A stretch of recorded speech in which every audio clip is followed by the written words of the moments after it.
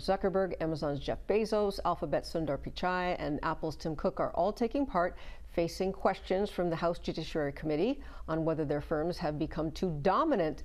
Uh, simply put, they have too much power, according to committee chair David Cicilline.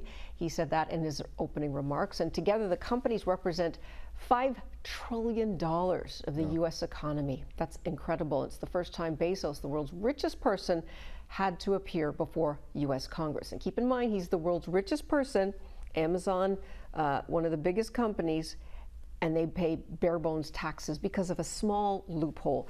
And this is the thing Americans.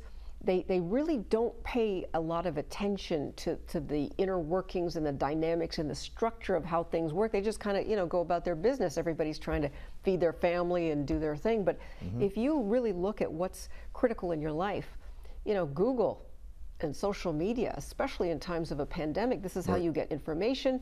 This Keep is how you communicate with, with people. This is how you get things.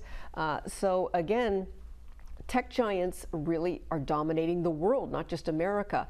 Uh, in England, uh, they have put some, some, serious restrictions on them, uh, and they're scared that's going to happen in this country. Uh, they finally caught on here, lawmakers, and a lot of it is because of COVID 19 and also because of the election.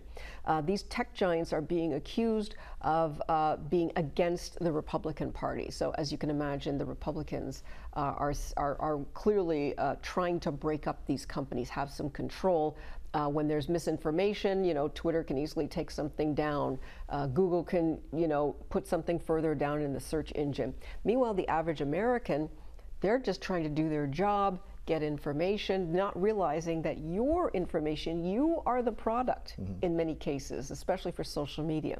Your information, your data, when you're posting to your friends and you're showing that, hey, I love this, you know, restaurant and this, all of this data is compiled and kept by restaurants. And of course, the African American community we're often uh, pigeonholed into certain areas. Uh, so when you're searching on Google and, for instance, you're looking up racism or whatever, certain articles will come up. They control those things. Mm-hmm. Uh, so I could go on and on, Anthony, but I mean, you obviously understand the, the problems of your security, your privacy, your data being used to make money.